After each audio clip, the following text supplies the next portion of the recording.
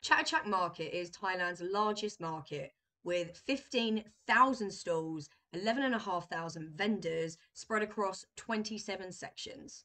And this is me arriving on the back of a grab bike.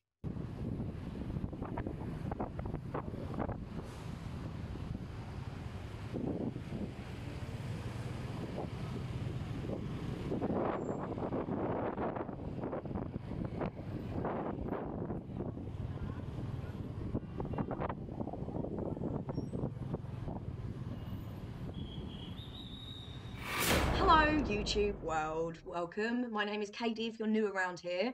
But if you're not new, of course, welcome back, love. And yes, we did the other side because I've been very, very stressed over this past week and everything flares up when I'm stressed. But I hope you are doing well. Today's video is obviously going to continue on from the Thailand vlog haven't done a video sort of telling you and showing you for a little while. So basically, if you haven't seen the first type of vlog, I will shove it up in the corner and it will be in the description below if you would like to see that one. But this, you're not missing anything if you haven't already seen it. This is all brand new information. This is going to be brand new vlog type, me talk about things and then throw up some footage from when I was there that's essentially what this will be. I just want to go over a few things, show you some few things, um, and just give you a couple of tips while I remember, really. Thailand is becoming increasingly popular, especially with UKers. When I went over there, I knew that I was going to love it, but I just didn't realise how much I was going to love it.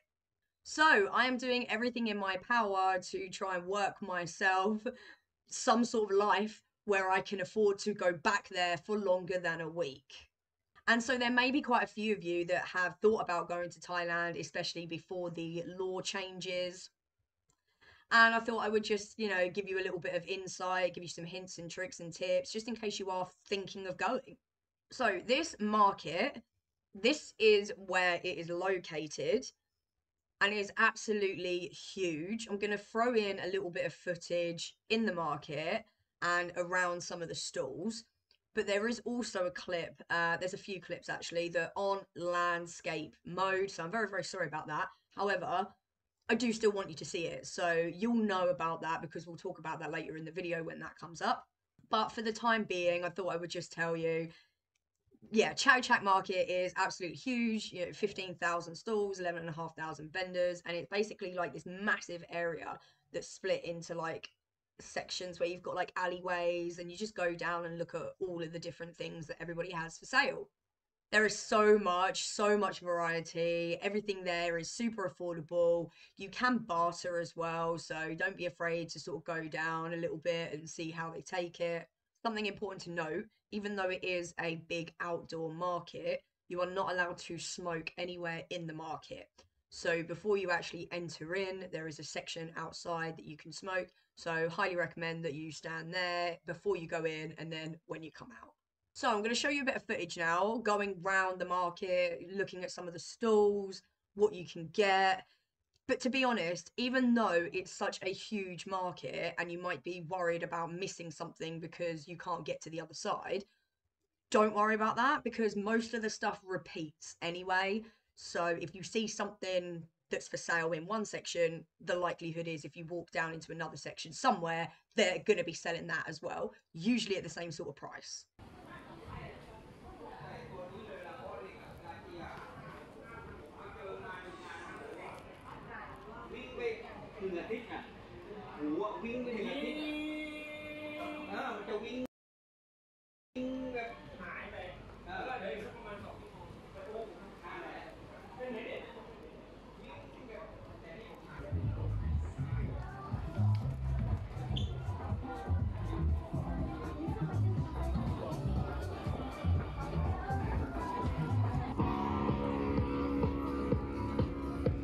Loving it. Young man, I feel myself burning.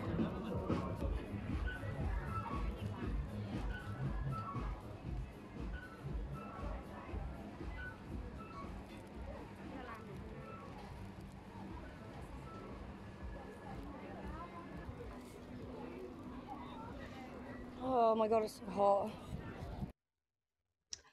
It is incredibly hot in Thailand. And one of the main tips I can tell you is pack light and bring comfortable walking shoes. And I mean super comfortable walking shoes. Like, even my trainers were hurting my feet. Like, I wanted to get a foot massage every single night. I should have got more. I only got two out of the week, and I really should have got more. But you are going to be walking so, so much, and it just it kills it, it takes a toll on your feet so please make sure that you bring the most comfortable shoes ever but also saying that make sure that they are stable shoes as well because thailand's walkway its pavement is fucked it really is like there's no you know real way i can kind of express it to you other than that it's not really flat. There's cracks in it. There's all sorts of lumps and bumps. So do not wear high heels. Do not wear anything that has any tiny bit of a heel. Trust me, don't try and look good. All right. Nobody's trying to do it out there. All right. I brought wedges. They stayed on my feet for about an hour before I said to the guys, I've got to go home and change because I was like about to break my ankle with the amount of cracks that I was falling into. And for what? For what? to try and look good with wedges, just don't do it. All right, just don't fucking do it. No one cares what you look like. All right, it's so hot out there. No one cares. Don't try to impress anyone. Honestly, do not go there to try and impress. It's just not gonna fucking work. So now that I've passionately spoken about that, make sure that you again pack lightly as well right because again it's so hot out there that you will if you're someone that sweats like me i just sweat like a pig you will go through clothes i had to change like twice sometimes three times a day because i wasn't happy with the clothes that i was wearing and one of them was just a long flowing skirt and i had to change out the skirt into shorts because it was just too hot so I don't know how these Thai people that are out every single day and then at the weekend, you know, for the night um, weekend market, they're out there in the blistering heat selling their stuff all day long. Like it's insane. And then now I'll show you the clip that I want to show that isn't in landscape, but this is why I love Thailand, right? Like everybody's there having fun, and then you've just got this guy that takes things up a little notch and makes it even more fun.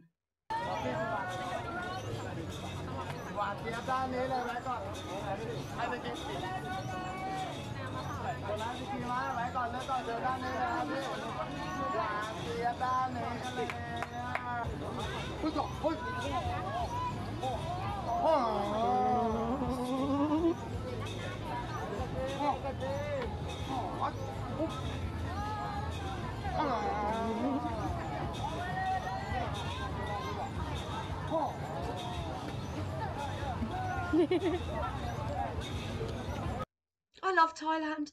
I love Thailand. It was great. He was just having such a laugh, just you know, throwing it up and going, oh, and then catching it right in front of her. And I was just like, I love it. I love it. Like you just you used to get things like that in the UK, but I swear you don't really get that anymore. Like everybody's too zoned out to what they're doing. They wouldn't even notice that somebody's being so whimsical like that.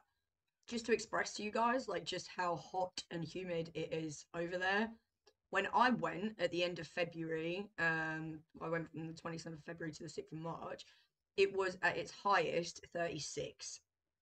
I still follow vloggers in Thailand right now, and it's currently 38 degrees Celsius, of course. So the humidity will kill you as well. It's like 95% humidity, right? So what's really nice is that outside, when you go around on the streets and there's, you know, restaurants and little places for you to sit down at, there are fans pretty much everywhere. Because it's outside, they can't have AC, it's just not going to fucking work. So they have these big, like, desk fans that are huge and they are usually situated throughout the restaurant um, on the sections where people can sit and you can feel it. But they also have some restaurants they have fans above you as well. So i'm going to throw in a little clip here of a place that we sat down and ate at and it was just lovely because as i looked up i could see that they had these like wind chimes and these little lights and flowers that were all intertwined with the fans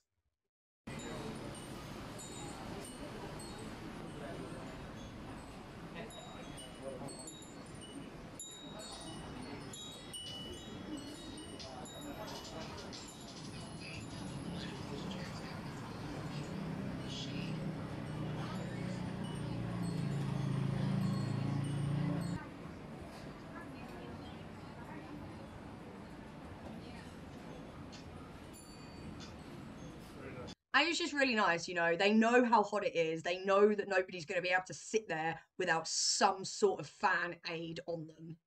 So, moving over to temples now, there are a few temples that we went into, and there are many, many, many temples across all of Thailand, of course. And some of them have different rules. So, uh, some of them you have to be covered with your shoulders and covered below the knees. Some of them you don't have to do that at all. Some of them you have to take off your shoes before you enter some of the sort of worshipping temple sections. And some of them you just walk around just as you literally walk down the road and you can like see a temple there and you can just walk in and look through the temple.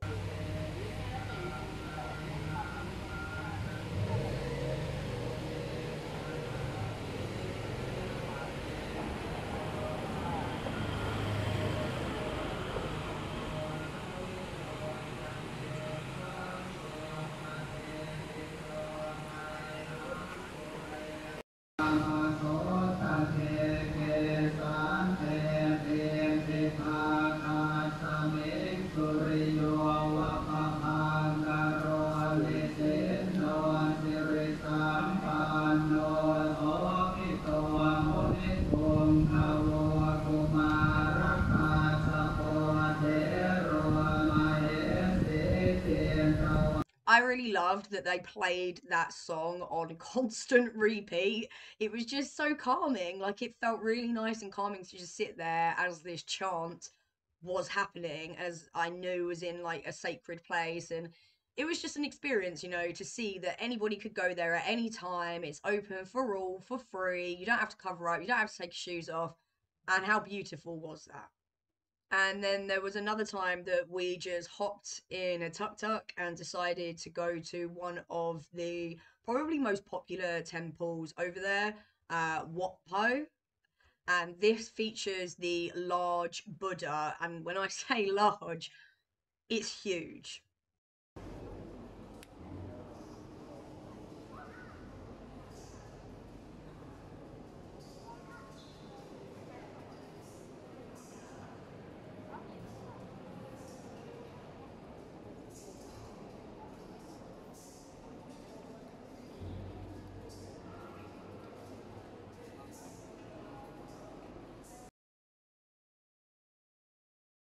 but I didn't bring anything to cover up with, and obviously I was wearing a cropped, well, not a crop top, but like you know, a short top and shorts.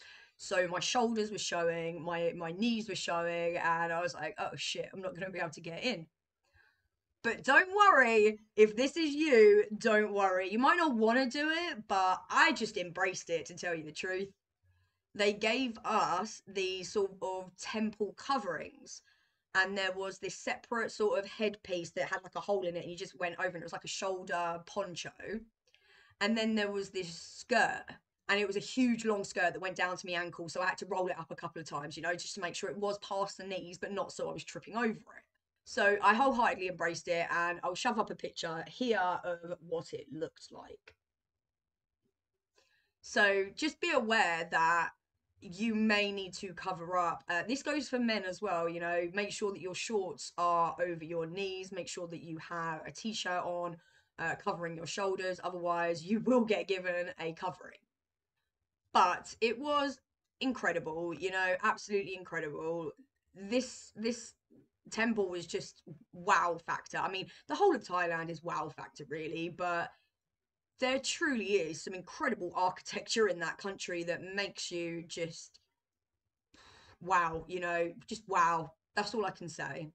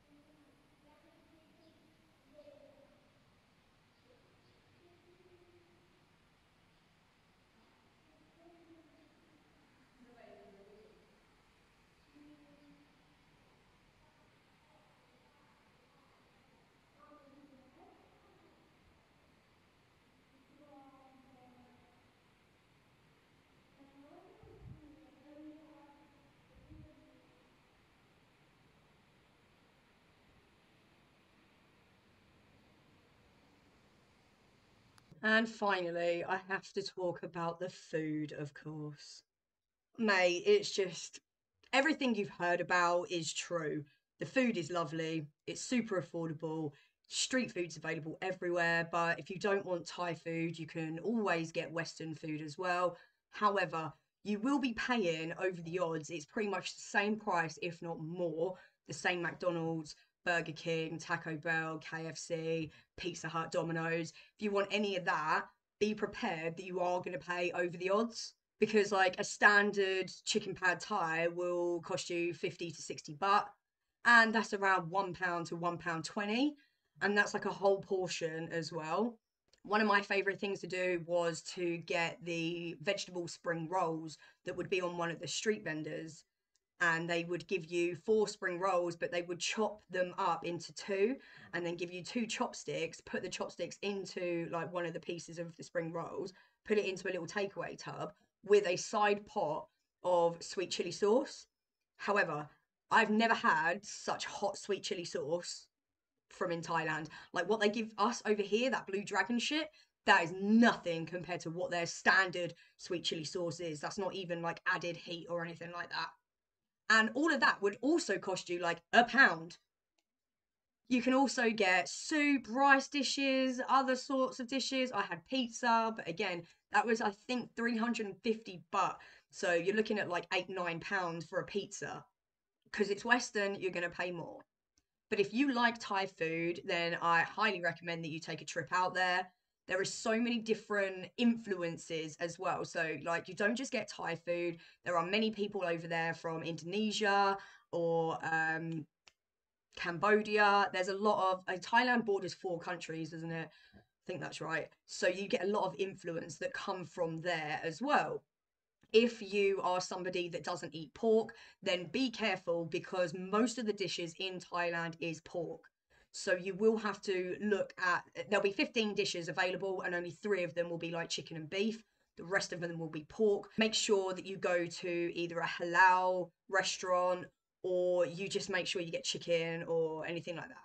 I didn't eat any seafood. I'm not a fan of seafood, but I also wouldn't ever eat it anyway if I was there. Like I just I don't know. I don't don't trust seafood. I was ill once in my life from a bad prawn, and it took it just turned me for life. And that was in the UK. That was actually in Ipswich, to tell you the truth. Uh, many, many years ago, but I got serious. it was the illest I've ever been in my fucking life. And I don't ever want to go through that again. I thought I was dying. So I don't touch seafood. Um, let me know if you've been to Thailand and, and you've had the seafood and like whether it's all right. I still won't eat it, but it'll be interesting to see whether you have and if there's any, you know, watchers right now that are interested in seafood, then pop down your favorite places, you know, because it just help everybody out. But we are done for today. There is so much I could talk about, but I don't really want to make the video long. There is plenty of other vlogs I have that I can showcase other information and bits and pieces of the trip.